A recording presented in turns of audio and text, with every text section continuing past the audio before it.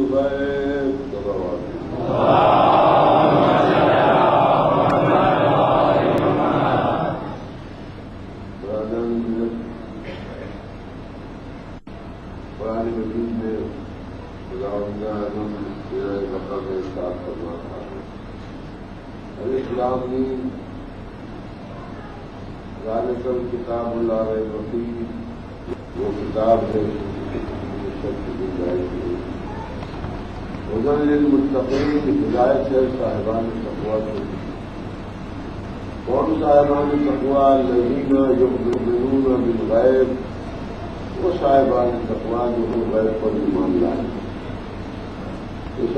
آیت میں قرآن اور کے موضوع پر شہریت الغیرہ کے بھائی میں جو مسلسل گفتگو آپ کے سامنے جا رہی وہ کل تنظیم قرآن کی منزل میں یہاں تک بات پہنچی تھی کہ ایک قرآن تو وہ ہے جو اللہ نے لوہے محفوظ کو نازل کیا۔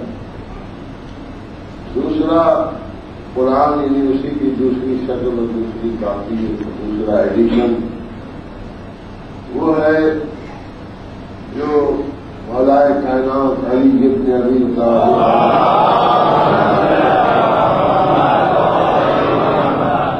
ملوک کے مطابق اور تشریح اور وضاحتوں کے ساتھ جمع فرمایا اور مسلمانوں کے سامنے دور اول میں مسجد میں لا کے پیش کیا تھا کہ ہم نے تمہاری ہدایت کے لیے قرآن کو جمع کر دیا ہے اس قرآن کو لے لو تاکہ تمہاری زندگی تمہارے فیصلے تمہارے احکامات قرآن کی روشنی میں بسر ہوتے ہیں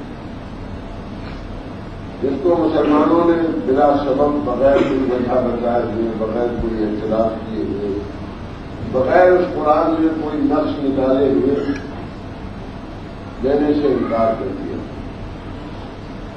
تیسرا، قرآن جو لکھا گیا، وہ پہلے خلیفہ کے دور میں دوسرے خلیفہ کے کہنے پر جو میں کل ذکر کر رہا تھا آپ کے سامنے۔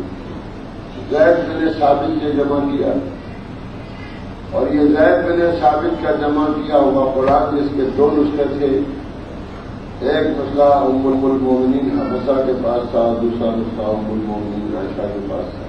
جیسا کہ علامہ جلال الدین سیوتی نے کتاب الرحمان فی شرح قرآن نے سفید پچیس کے اوپر تحریر فرمایا۔ اب چوتھا قرآن۔ وہ قرآن تھا جس کو خلیفہ سیوم نے جمع کیا۔ اور آج یہ جو قرآن ہمارے پاس ہے، یہ وہی قرآن ہے، اسی کی نقل ہے جو خلیفہ سیوم نے جمع کرایا تھا۔ اس میں تمام مسلمانوں کا متفقہ فیصلہ ہے ترکیا سنی سنیوں میں جو فرقے ہیں، ان میں کوئی اختلاف نہیں۔ کہ یہ بیان عثمانی ہے، یہ تیسرے دور میں خلیفہ عثمان نے اس قرآن کو جمع کرایا۔ اور وہی قرآن نقل ہوتے ہوئے یقین بات جگرے ہم تک پہنچ گیا۔ اور آج اسی قرآن کو سب کا ایمان پہلی بات تو میں برادران اسلامی سے، کیونکہ علمی بات ہے، اسلام علم ہے۔ مسلمانوں کو اپنی نجات کی فکر کرنا چاہیے دوسروں کے مباحث میں نہیں بڑھنا کہ ہم کو بدنام کیا جاتا ہے، ہماری گفتگو کو سننے سے منع کیا جاتا ہے۔ یہ سمجھا کہ ہم گمراہی پھیلاتے ہیں۔ تو جب موقع آئے گا، بات آئے گی تو ہم کہیں گے ضرور۔ کہ علی نے جو قرآن لکھا تھا۔ وہ مدینے کے مسلمانوں نے قبول نہیں کیا۔ لیکن خلیفہ سیوم نے جو قرآن جمع کیا، وہ ہم نے قبول کیا۔ اس کا مطلب یہ ہے کہ ہم متاثر نہیں ہیں۔ ہمارے پاس جو قرآن ہے، ہم جانتے ہیں کہ تیسرے دور میں جمع ہوا اور تیسرے خلیفہ نے جمع کیا اور پھر بھی ہم اس کا احترام کرتے ہیں چونتے ہیں، سر پر رکھتے ہیں، پڑھتے ہیں، اسی سے ہدایت حاصل کرتے ہیں۔ ورنہ ہمارے کسی امام نے منع کیا کہ چونکہ انہوں نے جمع کیا تھا، لہٰذا اس کو قبول نہ کرنا ایسی بات نہیں تو قرآن کے معاملے میں فرقہ شیعہ اسنا شریف جتنا مخلص ہے اور پابند قرآن ہے، اس کا کوئی دوسرا پیسہ نہیں۔ خلاباد دے دے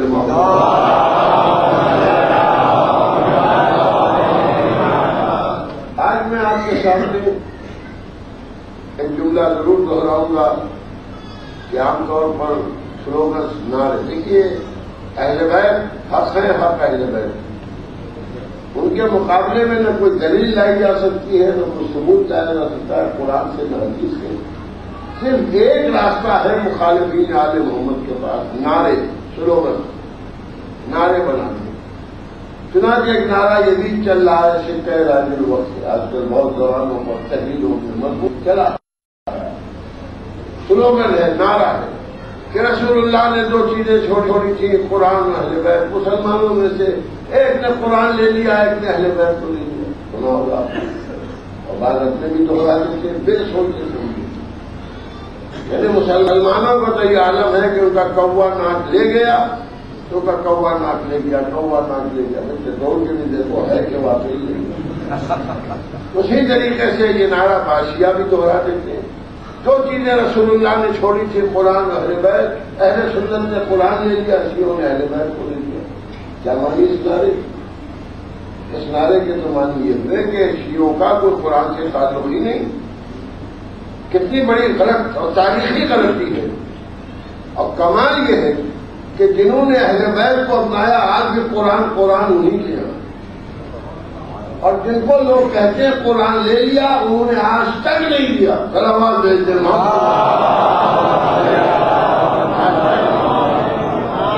کتنی بڑی غلط فہمی اور مس انڈرسٹینڈنگ دنیا میں پھیلائی جاتی آپ لہذا فرمائیں، بسم اللہ سے بات شروع کرو۔ بسم اللہ الرحمن الرحیم۔ سب سے بڑا مسلک اور سب سے بڑے معتقدین۔ اہل سنت حضرات میں جو سب سے بڑا فرقہ مسلمان ہوتا ہے۔ یہ بات ہے، کوئی نوک جھوک کی بات نہیں جو سب نے لکھی ہے وہ بات ہے۔ یہ کون سی بات ہے کہ علماء اہل سنت ایک بات لکھ سکتے ہیں اور پڑھ نہیں سکتے؟ چلو آواز دے لکھ سکتے اور ہم پڑھ نہیں سکتے۔ یہ کون سی منطق ہے جو اللہ میں جلال الدین سیوتی نے بھی لکھا ہے اور صحیح بخاری شریف نے بھی۔ کہ حضرت امام ابو حنیفہ یہ فرماتے تھے تسمیاں لیسا ہے۔ یعنی تسمیاں جو ہے وہ آیت نہیں ہے۔ بسم اللہ الرحمن الرحیم، قرآن کی آیت نہیں ہے۔ ایک سو چودہ سورے ہیں۔ جن میں خالی ایک سورے میں بسم اللہ نہیں سورہ بڑا حکومت اور سب میں ہے۔ تو ایک سو تیرہ جگہ جو قرآن میں مسلمان بسم اللہ الرحمن الرحیم پڑھتا ہے، اس کو امام ابو حلیفہ کا فتوا ہے اعلان ہے کہ یہ قرآن نہیں ہے۔ یہ تو تبربل پڑھا جاتا ہے۔ اللہ کے نام سے شروع کرتا ہوں، جو رحمان الرحیم ہے۔ یہ قرآن کی آیت نہیں ہے۔ تو اب ایک سو تیرہ آیتیں کم ہو گئی نا قرآن سے؟ اور ہر سورے کے پہلے لکھی ہوئی ہے سوائے سورے پر آپ کے تو یا تو قرآن سے نکالی جائے ہے، بسم اللہ۔ یا لکھی جائے۔ اور یا یہ کہیے کہ ہم فتوا نہیں مانتے۔ یہ کیسے ماننے والے ہیں کہ مانتے ہیں، بات نہیں مانتے ہیں؟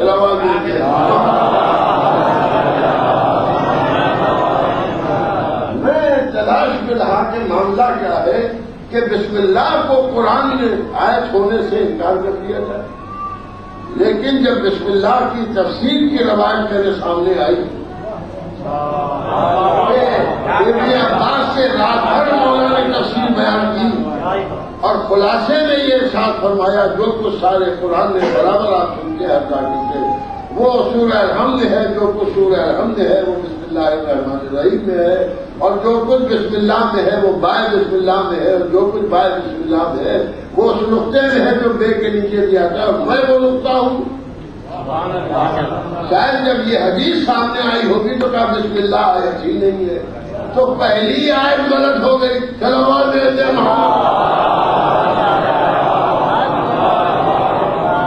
اب آئیے اس مت میں قرآن پہلی چیز جو مجھے آپ کے سامنے پیش کرنا ہے، مجھے آپ کے مسئلے سے نہیں مطلب آپ شیعہ ہو، سنی ہو، کوئی ہو۔ میں تو مسلمان ہوں، مسلمانوں سے بات کرتا ہوں۔ اسلام کی بات ہے۔ اور یہ زمانہ فکر ہے۔ یہ عجیب بات ہے۔ ہر فرقے کا مسلمان اپنے فرقے کے معاملات میں بحث کرتا ہے۔ لیکن جب اسلام کی بات آتی ہے تو پھر اپنے فرقے پر جم کے بیٹھ جاتا ہے، بات نہیں کرتا۔ یہ ہے کہ نہیں؟ تو ذہن کو کچھ رکھ کے اپنا اسلام مسلمان کو خود سمجھنا پڑے گا، کیونکہ کو نجات خود ملے گی۔ نجات کا معاملہ ہے نا۔ تو آپ انسان فرمائیے اس کو چلے کہ قرآن مجید جو جمع کیا گیا، اس کی بات میں آپ کے سامنے بات میں کروں گا۔ جو تیسرے خلیفہ نے جمع کیا، یہ جو آج ہمارے سامنے ہے۔ یہ تیسرے خلیفہ نے جمع کیا ہوا قرآن ہے۔ اس کو بیان عثمانی بھی اس ایک نام ہے انہوں نے جمع کیا تھا۔ اور ہر شیعہ کے گھر میں ہے۔ اور بالکل ویسے ہی جیسا ہر سنی کے گھر میں ہے۔ قرآن تو نہیں ہے شیعہ سنی، قرآن ایک ہی ہے۔ ترجمے ہیں الگ الگ۔ میں کچھ کہہ رہا ہوں۔ اس کا مطلب ہے کہ عربی والے قرآن کو تو بنا نہیں سکے۔ اردو میں ٹرانسلیشن کر کے شیعہ سنی بنا دیا۔ تو جو قرآن کو شیعہ سنی بنا دے وہ آپ کو چھوڑیں گے؟ آواز دے دیں چھوڑیں گے امت کو، اسی لیے آپ تو گزارش یہ ہے کہ یہ قرآن مجید جو ایک ہی ہے، اب آپ کا ایک اور انداز کہ شیوں کا عقیدہ یہ ہے کہ قرآن چالیس پارے اور دس پارے ان کے امام کے پاس محفوظ ہیں۔ اور جب وہ انشاءاللہ ظہور فرمائیں گے، تو اپنے ساتھ لے کے آئیں گے۔ ڈر سب کو لگا ہوا ہے۔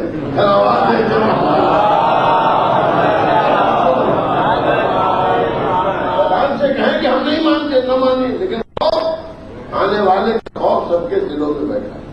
اور یہی ہے کہ سب ڈر رہے ہیں، ہم انتظار کر رہے ہیں۔ اور کیا بات ہے اب آپ کو لہٰذا فرمائیے۔ کہ یہ قرآن مجید جو جمع کیا گیا، تیسرے دور میں، وہی آپ جاری اور ساری ہے۔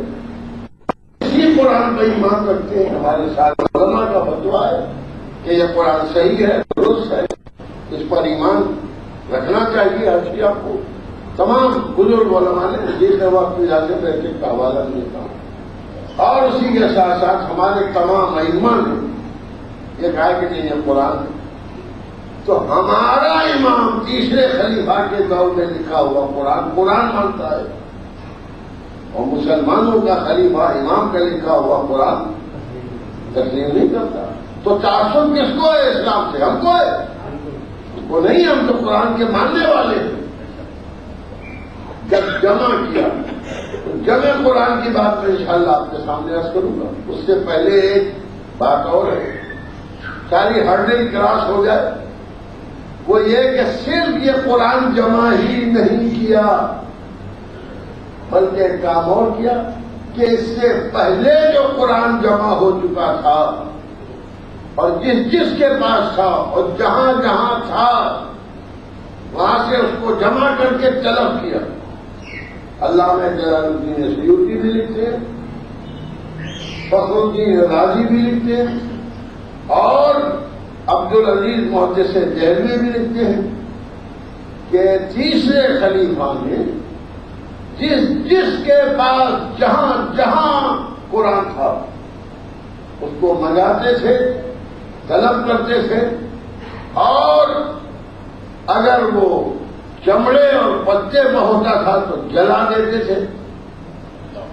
اور اگر ہڈیوں میں ہوتا تھا تو سرکے سے ہو دیتے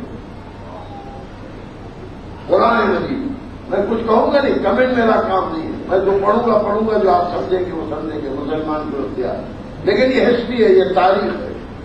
اور یہ تاریخی تحقیق ہے کہ پچھلا قرآن، چاہے وہ کاتبین وہی کے ہاتھ میں لکھا ہو چاہے وہ زید بن ثابت کا جمع کیا ہو، اور یہ نہیں کہ مل جاتا تھا منگا کے چنانچہ ابو اسود سے بھی منگایا گیا قرآن اور انہوں نے کوفے میں دینے سے انکار کر دیا کہ میرے پاس جو کاپی ہے وہ میں نہیں دوں گا۔ تو ان کو گرفتار کر کے بلایا گیا مدی نے ان سے کہا، قرآن جمع کرو۔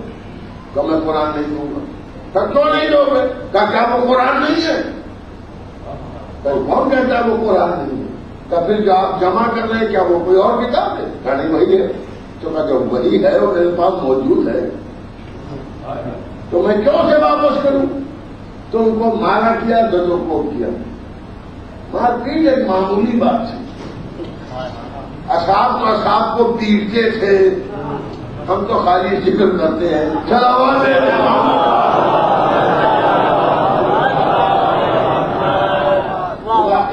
ہم سے احترام کی بات کی جاتی ہے خود ایک کا دوسرے کے کیا احترام تھا وہ آپ تاریخ میں دیکھتے جو علامہ جلال الدین سنگھ سمے پچیس پر کتاب الاسکار میں لکھتے ہیں کہ جتنے نسخے مل سکے، جتنی آیتیں مل سکی جتنے سورے مل سکے، سب کو سرکے سے دھویا گیا، پتوں کو جلایا گیا اور اس کے آہو میں جو قرآن تھا کھال پر ڈرنوں کی اور اونٹ کی کھالوں میں جو تھا وہ سب جمع کیا جاتا تھا مسجد میں، اور آگ منگا کے جلا دیا تھا۔ قرآن جلایا گیا۔ کیوں جلایا گیا؟ اس کا کوئی سبب نہیں بتایا۔ اس کا کوئی سبب آپ ذرا ملاحظہ کر رہے یعنی پھر سے جمع کیا جا رہا ہے۔ یہ تو ٹھیک ہے بھائی، جمع کیا جا رہا ہے۔ اس میں کوئی آبجیکشن نہیں ہے کہ تاج کمپنی کا ٹھیکہ ہے کہ وہی چھاپے گی، دوسرا نہیں چھاپے گا۔ دوسرا نہیں چھاپ سکتا ہے قرآن۔ لیکن تاج کمپنی یہ نہیں کرتی کہ دوسرے کمپنیوں کا قرآن ملا یہ بات آج مسلمانوں کو سوچنا پڑے گا کہ جمع جو کیا گیا، جلایا کیوں گیا؟ کیوں جلایا گیا؟ کیا وہ قرآن نہیں تھا؟ احترام کی بات نہیں کر رہا وہ تو ہے ہی ہے بات کہ مسلمان اور قرآن جلائے۔ اور پھر کہے کہ قرآن ہم نے لے لیا، تلوار لے لے محمد۔ قرآن سونے کی روایت وہ قرآن جلایا گیا۔ جبکہ وہ قرآن ان کا کہ نائش تھا خلیفہ اول کا بھی۔ انہیں جمع ہے اور خلیفہ جیوم نے بھی اسے تسلیم کیا تھا کیونکہ انہیں کی رائے تھی کہ جنگ امامہ میں سب سے زیادہ حافظ ماتا لے گئے یا آپ جمع کریں تو جو قرآن جو قرآن پہلے اور دوسرے خلیفہ کے دور میں جمع ہوا، وہ سرکے سے دھویا گیا، ہاتھ سے جلایا گیا۔ اب آپ سمجھے جو لوگ کہتے ہیں کہ اگر لوگوں نے نہیں لیا تھا تو علی کو زبردستی اپنا قرآن دینا چاہیے تھا۔ کیا علی بھی اپنا قرآن سرکے سے دھلوا دیتے؟ جلوا دیتے؟ درملا کیا فرمائی؟ تو اب مسلمان کو اس بات پر غور کرنا ہے کہ کسی کتاب کو پھر سے لکھا جانا اور اس کے پرانے نسخے کو جلا دیا جانا کیا معنی رکھتا ہے؟ اگر ایک دستاویز کسی عدالت میں پیش کی جائے اور کہا جائے کہ یہ دستاویز ہے یہ وسیعتیں ہیں فلاں صاحب کی۔ ان کا اوریجنل کہاں ہے جو ان کی زندگی میں تھا انہوں نے لکھا ہی نہیں۔ بعد میں لوگوں نے جمع کیا تھا، وہ کہاں ہے، تاکہ طے نہیں کر سکے۔ تو ان کا اس کو تو جلا دیا۔ تو وہ دستاویز مشکوک ہو جائے گی جس کی اصل جلا دی گئی ہو۔ اس لیے میری دلیل ہے کہ اسلام کے تمام فرقوں میں قرآن مشکوک ہے۔ ایمان کا تھا قرآن پر۔ قرآن ہے نا قرآن کو جلا دیا گیا۔ کیونکہ یہ جو جمع کیا گیا۔ اگر یہ وہی تھا تو ادھر جمع کیا گیا تھا تو جلانے کی کیا ضرورت تھی؟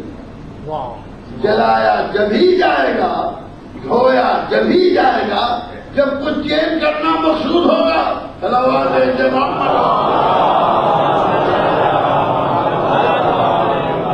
ایک اور سلامات آپ بھیجیں گا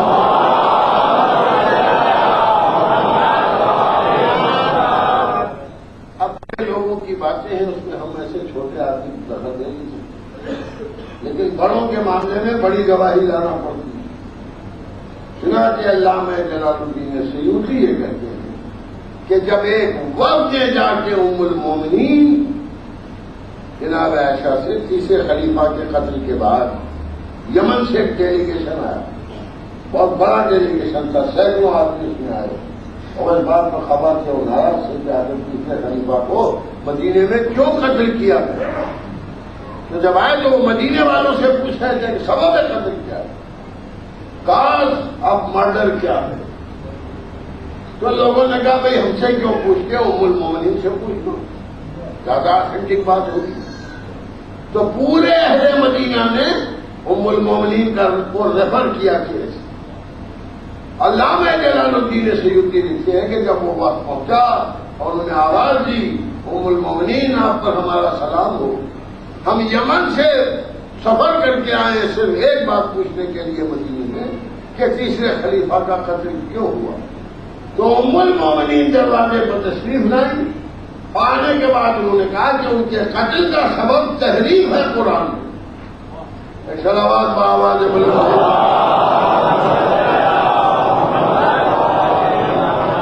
کیونکہ جمع قرآن میں انہوں نے قرآن کی آیتوں کو کم کیا۔ تو پر یمن والوں کو بڑی حیرت ہوئی تو مومین کو مثال ہے؟ تو فرمایا بہت سی مثالیں پہلی بات تو یہی ہے کہ سورہ توبہ سورہ بکر سے بڑا تھا۔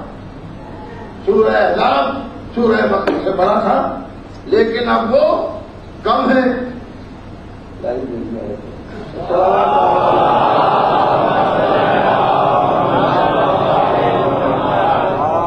اب وہ کم ہے پھر اسی کے ساتھ ساتھ یہ بھی فرمایا کہ بہت سی آیتیں جو رسول اللہ کو نازل ہوئی اور جس کی تلاوت رسول اللہ فرماتے تھے، وہ آیتیں اس میں نہیں لکھی گئی اور بہت سا لفظیں اس میں نہیں لکھی گئی تو اس کی دو دلیلیں تھیں۔ ایک تو یہ دلیل تھی کہ خلیفہ دیوم سورہ جمعہ میں بس آؤ کے بجائے پمزو پڑھتے تھے۔ میں نے خود سنا اپنے کانوں سے کہ وہ پمزو پڑھتے تھے، لیکن اس قرآن میں پمزو لکھا یہ تبدیلی کی گئی دوسری انہوں نے کہا کہ سورہ حق نازل ہوا تھا، وہ اس قرآن میں موجود نہیں تیسری مثال اور تیسرا سائٹیشن انہوں نے پیش کیا کہ خلیفہ یوں کہا کرتے تھے کہ آیا رجم میرے سامنے نازل ہوئی تھی۔ لیکن وہ کہتے قرآن بھر میں کہیں آئے رجم نہیں ہے۔ تو چونکہ انہوں نے قرآن مجید میں تحریر کی تھی، لہذا لوگوں نے ان کو قتل کر دیا۔ مجھے قتل کا کیس نہیں پیش کرنا ہے آپ کے مجھے صرف یہ عرض کرنا ہے کہ ام المومنین اس بات کی گواہ ہے کہ قرآن میں ترمیم کی گئی۔ اور یہ وہی قرآن ہے۔ اور کمان کی بات یہ ہے کہ ایک مثال اور دی، کہ خلیفہ اول سورہ ہم میں غیر المغلوب علیہم ولا ظالم بلکہ وہ اور کچھ پڑھتے تھے سورہ الحمد لیکن وہ نہیں لکھا گیا، بدل کے لکھا گیا۔ اب آپ یہ بتائیے کہ اگر یہ بیان صحیح ہے تو آج نہ کسی کی نماز جمعہ صحیح ہے اور نہ نماز پنجگانا صحیح ہے۔ اور اگر آج کے مسلمانوں کی صحیح ہے تو ان میں سے کسی کی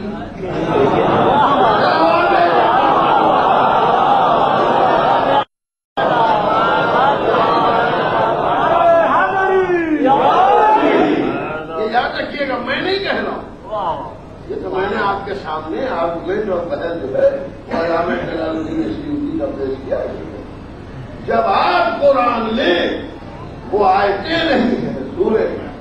پھر عبداللہ ابن عمر فرماتے تھے کہ مئوزتین قلعود برب النار اور قلعود برب الفلق کہتے تھے یہ قرآن نہیں۔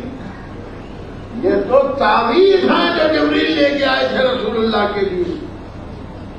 تعویذ ہیں جو جبریل لائے تھے اس کو قرآن میں کیوں لکھا گیا۔ اور جہاں بھی وہ قرآن میں لکھا دیکھتے تھے، فوراً اس کو مٹا دیں کہتے تھے، ہزار مرتبہ تم کو سمجھاتے ہیں کہ مولدین قرآن نہیں ہے۔ اور آج تک چھپ رہے مولدین قرآن میں۔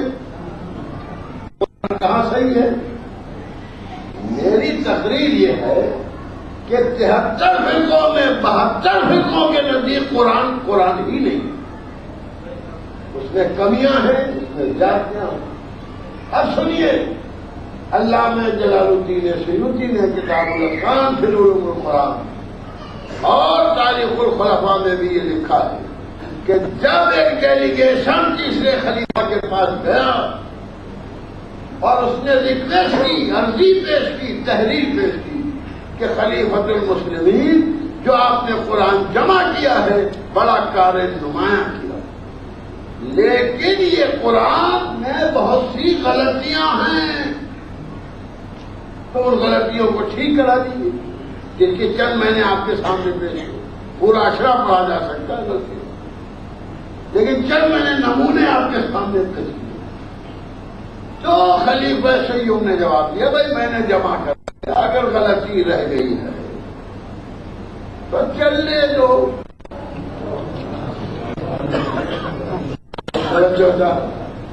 چلنے تو میرے بعد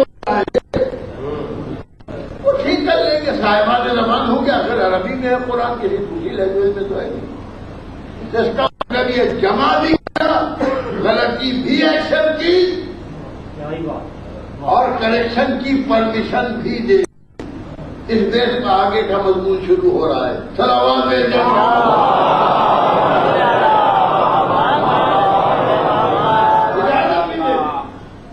نہیں آنے والے ٹھیک کر دیں۔ یہ نہیں کہا کہ غلط نہیں ہے۔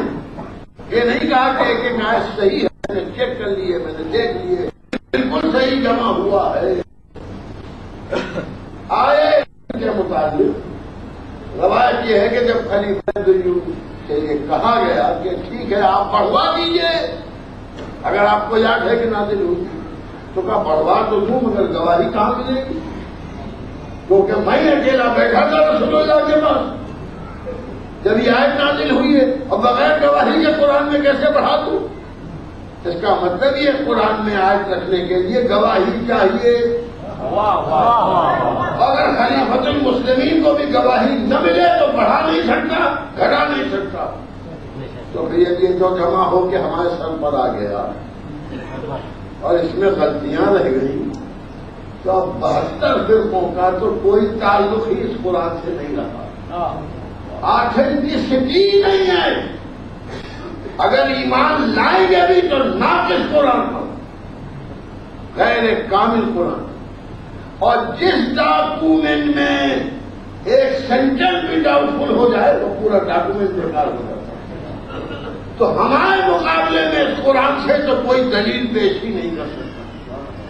اب آئیے جو آپ سوچ رہے ہوں گے کہ بھائی تو پھر آپ ہم مانتے کیا مانتا ہے اس نے آخری مانتا ہے، ہمارے بارہ اماموں نے کہا کہ قرآن ہے۔ ابھی تو آپ تقریر کر رہے ہیں کہ اس میں غلطی رہ گئی اس میں وہ رہ گیا پھر آپ کیسے کہتے ہیں؟ سرکار ہم اس قرآن پر ایمان نہ لاتے۔ اگر تیسرے خلیفہ کے بعد چوتھے خلیفہ علی نہ ہوتے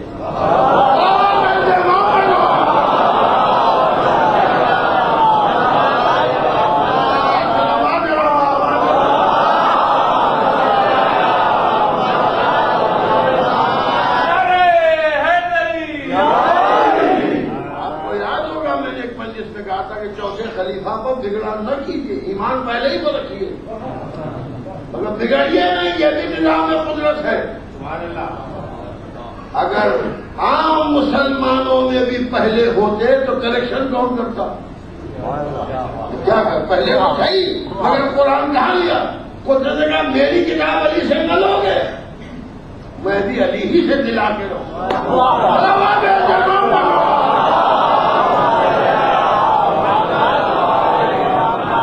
تمام تاریخیں لکھتی ہیں۔ اللہ میں جلال الدین سیوتی بھی لکھتے ہیں۔ بہت سے جین بھی لکھتے ہیں۔ کہ ابو اسود جو علی نے جو صحابی پیغمبر اسلام بھی تھے، صحابی امین المومنین۔ انہوں نے آ کے یہ عرض کی کہ یا علی، عرب قرآن غلط پڑھ رہے ہیں عرب احرام غلط پڑھ رہے ہیں قرآن پڑھ رہے ہیں مجھے جا رہے ہیں قرآن کے۔ تو علی نے کہا، ٹھیک ہے کریکشن کر دو۔ صحیح کر دو احرام لگا دو۔ مگر مجھے دکھا دینا۔ یہ چوتھی خلافت ہے علی کا زمانہ ادھر جنگیں ہو رہی ہیں، جمن بھی ہو رہی ہے شبیر بھی ہو رہی ہے نہبان بھی ہو رہی ہے اور کام بھی ہو رہا ہے۔ توجہ چاہ رہا ہو؟ اب وسوٹ شاگرد مومن۔ انہوں نے اعلان لگایا ری رائٹ کیا قرآن کو، پورا قرآن ابو وسوٹ علی کو دکھایا کہ ٹھیک ہے، اس کے نسخے بنواؤ، سب طرف بھیج دو۔ علی نے کیا کیا؟ ترکیب نہیں بدلی لیکن کریکشن کر دیا۔ آج جو یہ قرآن ہمارے پاس ہے compile by Usman and corrected by Ali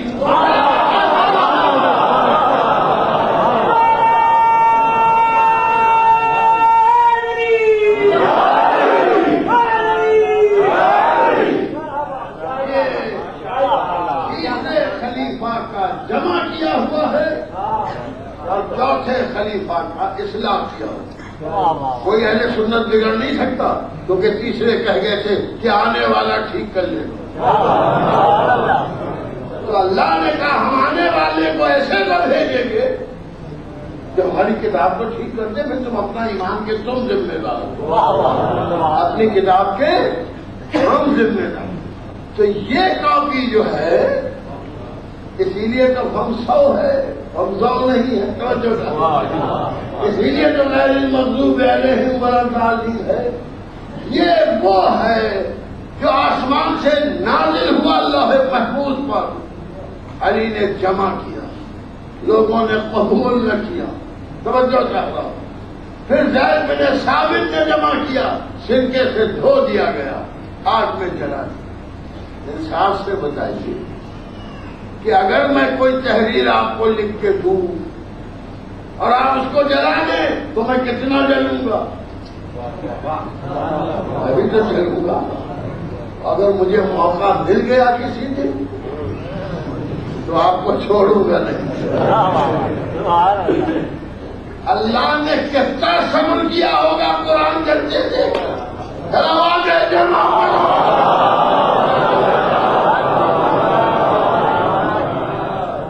قرآن چلانے والے کو اللہ چھوڑ کیسے چھوڑ دے اللہ کی کتاب جلا دیا گیا، صرف کیسے چھوڑ دیا گیا۔ تو اب سارے قرآن ڈسپیئر ہو گئے۔ تیسرے خلیفہ کا جمع کیا۔ اور علی ابن ابی طالب علیہ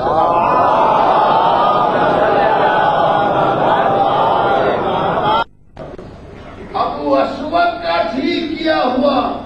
علی نے پاس کیا خالی۔ اور پھر ٹھیک کیا۔ ہوا یہ بھی ایک عجیب شیعہ سے قرآن سے کیا مطلب؟ یہاں ابو اسود شیعہ تھے۔ ابھی جنگے سے میں بھی علی کے ساتھ تھے جمل میں بھی علی کے ساتھ تھے۔ سب لکھنے کے محبت علی تھے۔ تو علی کا بھی ٹھیک کیا ہوا نہیں؟ علی نے تو پاس کیا۔ ٹھیک ہے یہی نے کیا تو اس کا مطلب یہ کل کے ساتھ تھا اور بھی کیا قرآن اور کسی ملک کے پاس قرآن کی چھاپ لینا اور ہے۔ رات بھر میں ختم کر دینا اور ہے۔ اور قرآن کے معنی سمجھنا اور ہے۔ سلام۔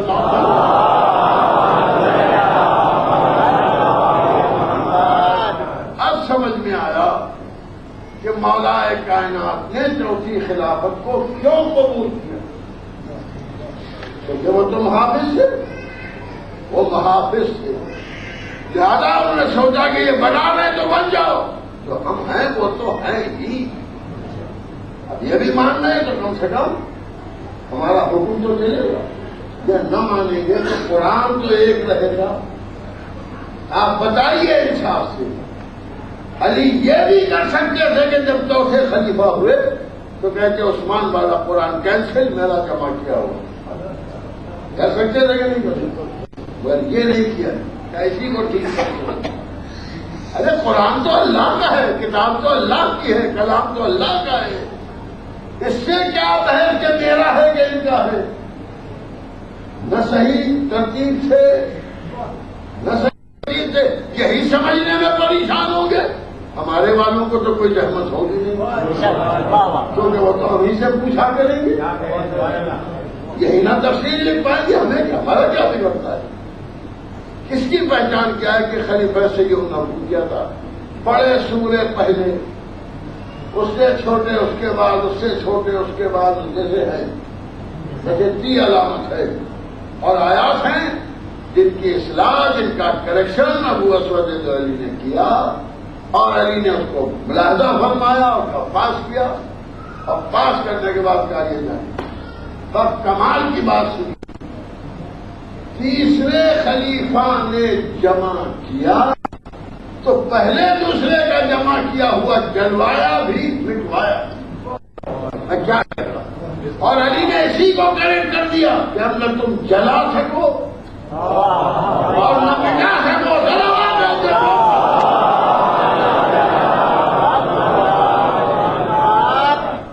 اب آپ بتائیے کہ یہ کاپی جو آج ہم مسلمانوں کے پاس یہ علی کی دین ہے یہ علی کا عطیہ ہے۔ یہ علی کا تحفہ ہے۔ علی کو مانو یا نہ مانو قرآن علی ہی والا پڑھنا پڑے۔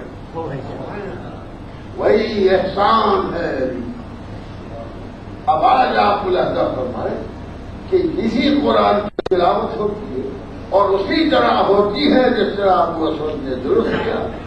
جو اعراب ابو اسود نے لگا دی۔ جہاں زبر لگا دیا آج تک زبر ہے۔ جہاں زیر لگا دیا آج تک زیر ہے۔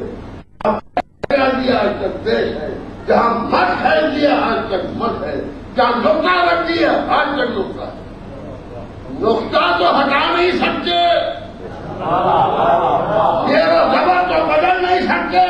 فضائل علی کیا بدلو گے؟ پورا قرآن کتاب ہے فضائل علی۔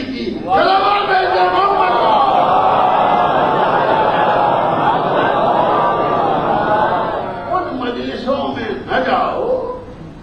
جس میں علی کے فضائل بیان ہوتے اس کتاب کو نہ پڑھو۔ جس میں علی کے فضائل میں حضور کہتے ہیں کہ شیوں نے اہل بحث کو لے لیا علی کو لے لیا۔ سنیوں نے قرآن کو لے لیا۔ کیا ہے ماپت کی بات؟ اہل سنت میں بھی ہم نے ایسے ایسے علی کے چاہنے والے دیکھے ہیں کہ جو نام ہے مولا کو فدا کو سننی ہے۔ اور شیوں میں بھی ہم نے ایسے ایسے دیکھے ہیں۔ کہ حضرات علی والے ہیں، مگر کوئی کثر مخالفت میں اٹھا نہیں لگتی تو میں نے جو عرض کیا تھا نہ شیعہ نہ سنی، نجات کا احساس علی کا ہے۔ جو حب علی ہے، ان کو نجات ہے۔ جہاں حب علی ہے، وہاں جاتے وہی کوہر ہے، وہی بات ہے۔ آپ ملاحظہ فرمائیں۔ وقت میں گنجائش رہی تو کبھی میں عرض کروں گا، لیکن سب جانتے شیعہ سنی کی بحث نہیں ہے، بحث حب علی اور حب علی۔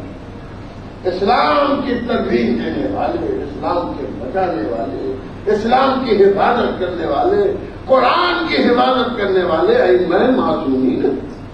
جنہوں نے ہر دور میں حفاظت فرمائی۔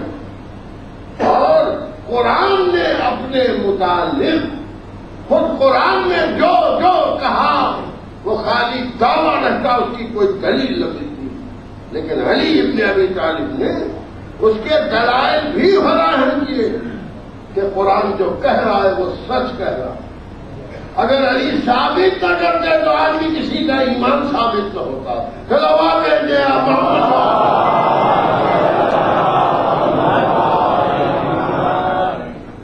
صاحب، انہوں نے یہ لے لیا۔ ہمارے پاس قرآن بھی ہے۔ ہمارے پاس دامن اہل بیت بھی ہے۔ ہم صحیح قرآن کے پیروں میں اس لیے کہ آل محمد کے ماننے والے اور جو آل محمد کو مانے گا وہ قرآن کو چھوڑ ہی نہیں سکتا۔ ہمارے تو ایک ہاتھ میں قرآن ہے، ایک ہاتھ میں دامن آل ہے۔ یہ تو ہم ہیں۔ آؤ، ہم تمہیں رسول اللہ کو دکھائیں۔ کہ جب غدیر میں ممبر پر تشریف دے گئے، ہم پر اعتراض ہے۔ حالانکہ ہمارے ایک ہاتھ میں قرآن ایک ہاتھ میں دامن علی اور قدیر میں تو نبی کے دونوں ہاتھوں میں علی۔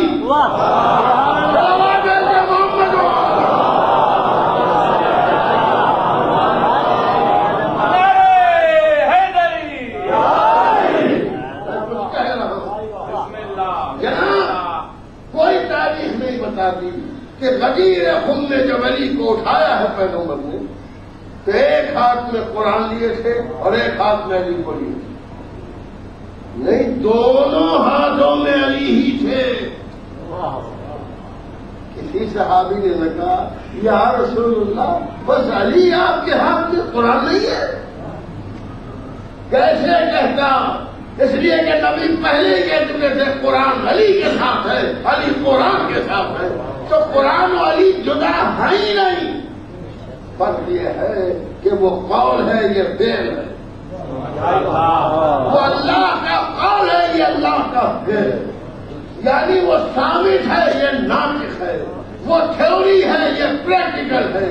جو علی کو نہ مانے گا، وہ قرآن کو کیا مانے گا؟ چلو بھیجے محمد ایک اور سلوات ذرا بابا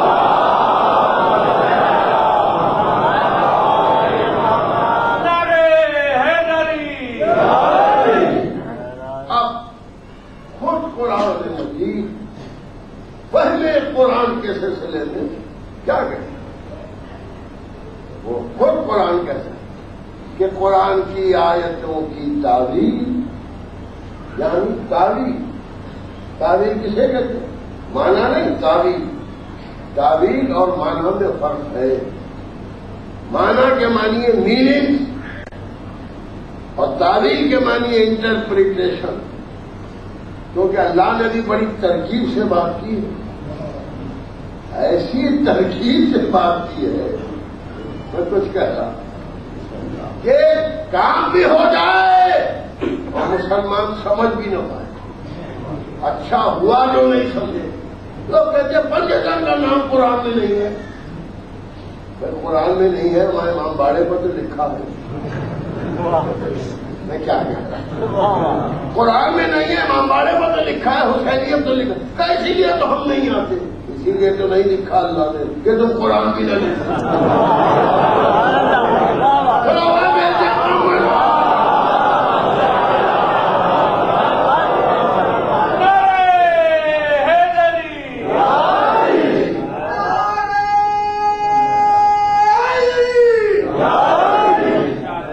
اگر قرآن میں واضح الفاظ میں اللہ پنجتن یا بارہ امام ہو چودہ معصوم تیرہ معصوم ان کے نام لکھ دیتا۔ ہے نا؟ تو یہ قرآن صرف شیعوں کا ہوتا مسلمانوں کا نہ ہوتا۔ اور اللہ چاہتا تھا کہ تم چاہے جتنی کتابیں لکھو آل محمد کی مخالفت میں۔ میری کتاب رہے ان کی معافت میں۔ اور تمہارے گھر میں رہے۔ تم ہی چھاپو کیا سے زیادہ چھاپو چھاپ چھاپ کے فری بانٹو۔ تاکہ ہر گھر میں مجھے ہجے بیٹھو رہے۔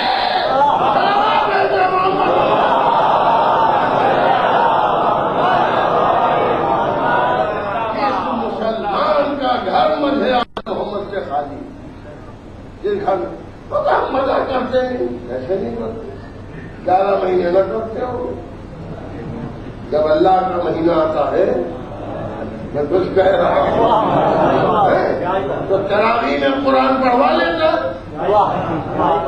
اور پورا قرآن ختم ہوتا ہے۔ اور قرآن میں سارے تذکرے آل محمد کے بھی آتے تو ذکر تو زبان پر لانا ہی پڑتا اسی لیے شاید بزرگوں نے کہا پاس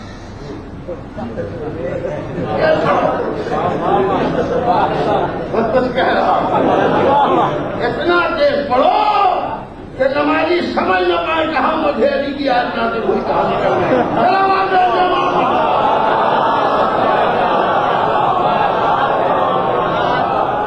ارے حیدری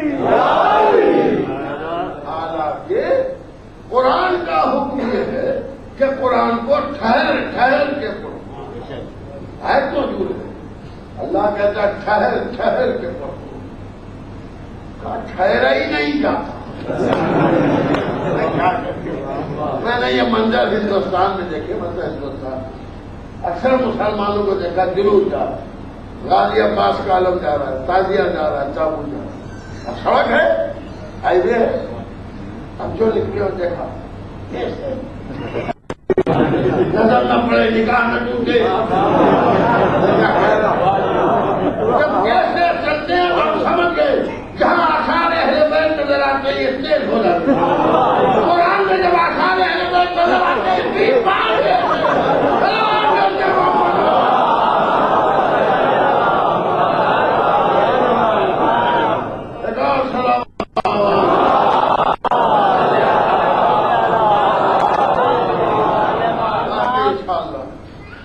گزارش یہ ہے کہ قرآن سے علی جدا نہیں ہو سکتا علی سے قرآن جدا نہیں ہو۔ یہ سلوگن محمل ہے، نامعقول ہے۔ یہ سلوگن، یہ نعرہ کہ کچھ نے قرآن لے لیا، کچھ نے اہل بیت۔ نہیں، قرآن اہل بیت جدا ہو ہی نہیں سکتے۔ جو قرآن کو لے گا، اسے علی کو لینا پڑے۔ جو علی کو لے گا، اسے قرآن کو لینا پڑے۔ کہیں الفاظ سے مانا جدا ہوتے الفاظ سے مانا جدا نہیں اب قرآن میں کیا ہے اور مولا کائنات سے کس طرح سے قرآن؟ جناب، قرآن موجودہ ہے۔ قرآن موجودہ ہے۔ کس نے موجودہ آج تک دکھایا قرآن سے؟ آج گھر گھر میں قرآن موجود ہے۔ ایک موجودہ مجھے دکھائی کہ کوئی آئے پڑھ کے تو ہم کیسے دکھائیں یہ موجودہ کیا ہے؟ موجودہ ہے۔ پھر کیا موجودہ ہے دکھاؤ؟ اگر قرآن موجودہ ہے تو موجودہ دکھاؤ۔ تو ہم نہیں دکھا سکتے، مگر ہے۔ تو پھر کیوں ہے جب کوئی دکھانے والا نہیں ہے؟ جب موجودہ ہوگا تو کوئی صاحب اعجاز بھی ہوگا۔ یہ قرآن تو مسلمانوں کے ہاتھ میں ایسے ہی ہے، جیسے موسا کا آسا۔ آج اگر کہیں سے برامد ہو جائے کھدائیاں ہو رہی ہیں اور کئی کھدائی میں اسرائیل میں جناب موسا کا آسان نکل آئے تو آسان تو مل جائے گا لیکن مارنے سے دریا کا پانی نہیں پڑے گا آسان مل جائے گا مگر سانپ نہیں کھائے گا کیونکہ موجودہ دستے موجود نما میں ہوتا ہے میں کچھ کہہ رہا ہوں موجودہ دستے ہوتا ہے مسلمانوں قرآن موجودہ ہے۔ اور کوئی دکھا نہیں سکتا۔ والی نے موجودے دکھائے قرآن کے حسن نے موجودے دکھائے قرآن کے حسین نے تو اتنا بڑا موجودہ دکھایا کہ نوکے نے اللہ پر قرآن پڑھا۔ والی نے تو پیدا ہوتے ہی موجودہ دکھا دیا قرآن پڑھ کے کہ کوئی بچہ نہیں پڑھ سکتا، ہم پڑھ گئے باپ نے پیدا ہوتے ہی قرآن پڑھا۔ شہید ہوتے ہی قرآن کوئی پڑھ سکتا ہے؟ انسان کا نہیں پڑھ۔ یہ بتانے کے لیے کہ قرآن بتا نہیں ہے اور ہم قرآن سے اور تم نے قرآن کے ساتھ کیا کیا؟ قرآن پر کیا ظلم کیا گیا؟ قرآن جاننے والی نہیں قرآن کو تو یزید کیا کہتا ہے؟ یزید یہی تو کہتا تھا کہ کیسا قرآن، کیسی وہی قسم خدا کی۔ اگر حسین قربانی نہ پیش کرے اور صرف قربانی نہیں، اگر امام زین العابدین اور جناب زینب صلوات اللہ کربلا سے کوفے اور کوفے سے شام نہ جاتی تو اسلام ختم ہو گیا۔ آج سیرت یزید کا نام اسلام ہوتا سیرت محمد کا نام اسلام نہیں ہوتا۔ یہ احسان ہے ثانی زہرا کا۔ اور کس طرح سے اسلام کو بچایا؟ کہ جب امام زین العابدین کو یزید نے بلایا، تو جناب زینب نے کہا، بیٹا، میں تم کو تنہا نہ جانے، میں بھی تمہارے ساتھ دربار میں چلوں۔ کہ نہیں پھوپھی، اماں مجھے اکیلا بلایا کہ بیٹا، میں اکیلا تمہیں کیسے جاؤں کہ نہیں پھوپھی، اماں، مناسب نہیں آپ کا انشاءاللہ خیر ہے۔ امام زین العابدین گئے دربار جناب زینب ستر بار دروازے زندہ جیسے تاریخوں میں ہے کہ حسنین جب گھر سے باہر جاتے تھے، تو شہزادی کالج بار بار دروازے بار آج بی بی اسی طرح سے دروازے بار پھر مرتبہ دیکھا زین العابدین واپس۔ مگر ہاتھوں میں ہتکڑیاں نہیں پیروں میں بیڑیاں نہیں، گلے میں خاردار نہیں ہاں دادارو، اب اربعین بھی تمام ہو رہا اربعین بھی تمام ہو رہا کل شب اربعین ہو جائے گی۔ حسین کا غم اور جل، حسین کا غم اور جل چلا گا حسین کا غم بہت جلد چلا گا دادارو سید سجاد آئے کا بیٹا، خیر اب بھی اما یزید نے ہم کو رہا کر اور رہائی کی خبر سنی، روایت کے کلمے ایک مرتبہ کا ہائے بھیا اور بے ہوش ہو گئے۔ یہ معمولی بات نہیں ہے، بے ہوش ہو گئے۔ روز آشور سب حسین سے پہلے تک جناب زینب کو ستر بار مگر جب سے بھائی نے بہن کو گھر سونپا، زینب کو غش نہیں پایا۔ شام میں غریباں میں غش نہیں آیا۔ راہ کوفہ شام میں غش نہیں آیا۔ زندان شام میں غش نہیں آیا۔ سال بھر کے بعد۔ کی خبر سن کے بے ہوش ہو گئی۔ امام چھینٹے دیے وہ بھی اماں اٹھیے آج بھیا کہتی تھی کوئی سوچتا ہوگا کہ قیدیوں کو رہائی کی خبر ملی اور قیدی رو۔ یہ تو خوشی کی بات ہے۔ کسی قیدی سے بھی کہو گے تمہیں رہا کر دیا گیا۔ نفسیات کا دکھاتا یہ کہ وہ خوش ہو جائے گا۔ ہاں ٹھیک کہتے مگر قیدی کیوں خوش ہو رہا ہے کہ قید سے چھوٹیں گے بھائی سے ملیں گے۔ اور سے ملیں گے۔ ہائے وہ قیدی۔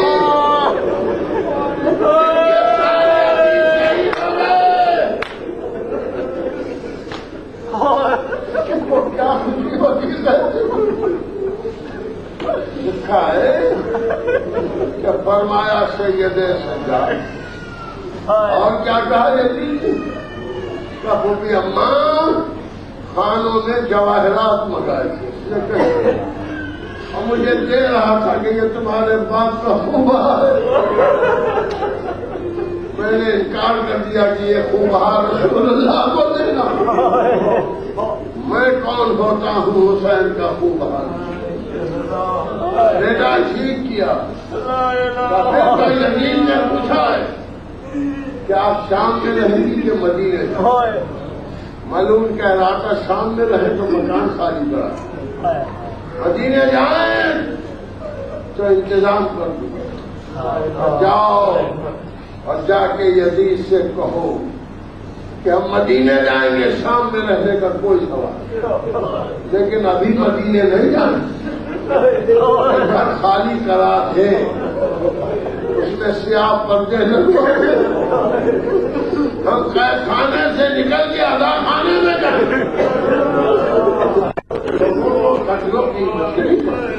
یہ امام باڑے۔ یہ سیو نے کوئی میٹنگ کر کے نہیں بنا کہ جناب زینب نے پہلا امام باڑا شام میں تاکہ ہاں، ہم اپنے بھائی پر روئے نہیں۔ ہم ہمیں گھر خالی کرو۔ کہا گھر خالی ہوا۔ ہاں۔ حسین غیر کھانے سے نکلے۔ اور ادا پہنے میں جانے۔ لگے خیر کہتا ہے کہ میں یہ منظر دیکھ مگر میں نے یہ دیکھا کہ ایک بیوی غیر خانے سے باہر لائی جاتی مگر پھر وہ غیر خانے میں چلی جاتی